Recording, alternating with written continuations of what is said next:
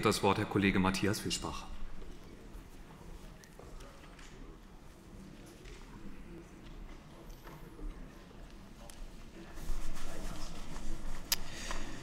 Sehr geehrter Herr Präsident, meine sehr geehrten Damen und Herren! Wir haben gar nicht die Möglichkeit, in der bayerischen Schulordnung einfach einmal schnell die schwarze Wand abzuschaffen, sondern dies ist durch Datenschutzvorgaben auf EU- und Bundesebene geregelt. Hier tun wir uns schwer, wenn wir dies nur im bayerischen Schulgesetz ändern wollen. Zitat Ende. Herr Kollege Gotthard, Sie sind gemeint, das sind Ihre Worte aus der Plenardebatte zum Schulqualitäts-, Digitalunterrichtsqualitätsgesetz. Dieses Gesetz hat die FDP-Fraktion vor über einem Jahr eingebracht und es hat damals schon eine dauerhafte Regelung für den Distanzunterricht mit aktiver Videoübertragung für alle Seiten vorgesehen. Die Pflicht zur Übertragung des eigenen Bildes und Tones, wie es nun hier in dem Gesetzentwurf heißt, den Ihr Minister jetzt auch vorgelegt hat, die begrüßen wir durchaus. Diese späte Einsicht im wahrsten Sinne des Wortes. Weiter hieß es in unserem Gesetzentwurf der FDP-Fraktion, dabei soll Präsenzunterricht der Regelfall sein, aber bei Distanzunterricht auf eine qualitative Gleichwertigkeit hingewirkt werden. Im Regierungsentwurf heißt es nun, Unterricht wird im Regelfall als Präsenzunterricht erteilt. Hiervon abweichend kann Unterricht auch in räumlicher Trennung von Lehrkräften und Schülerinnen und Schülern stattfinden, in Klammern Distanzunterricht. Also mit dieser Umformulierung kann ich gut leben, Herr Minister Piazzolo.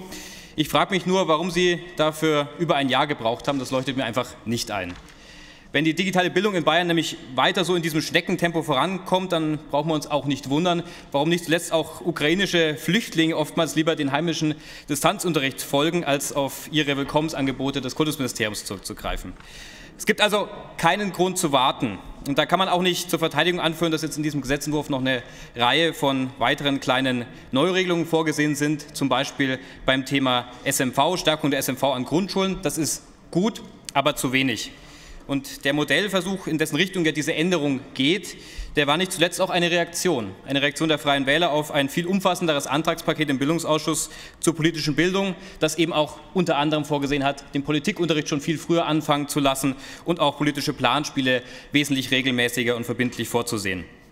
Auch hier wieder viel zu langsam, wir alle wissen, dass äh, unsere freiheitlich-demokratische Grundordnung zurzeit von Extremisten, von Verschwörungstheoretikern und nicht auch zuletzt von autoritären Staaten in Frage gestellt wird. Da ist gute politische Bildung wichtiger denn je. Und darüber hinaus noch zur schon mehrmals angesprochenen Regelung zur Abschaffung des Handyverbots in diesem Gesetzentwurf.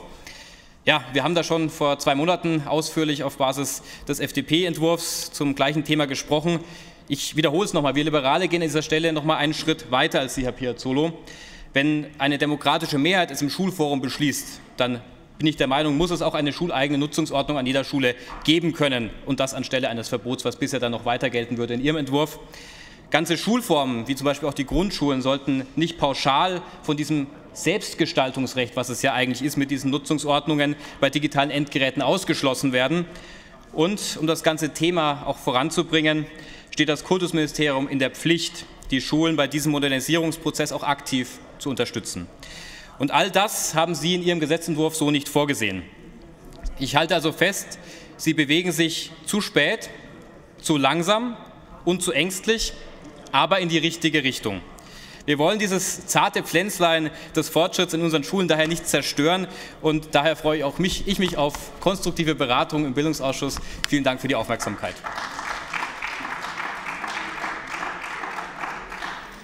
Vielen Dank, Herr Kollege Fischbach. Die Aussprache ist geschlossen. Ich schlage vor, den Gesetzentwurf dem Ausschuss für Bildung und Kultus als federführendem Ausschuss zu überweisen. Erhebt sich Widerspruch? Das ist nicht der Fall und damit so beschlossen.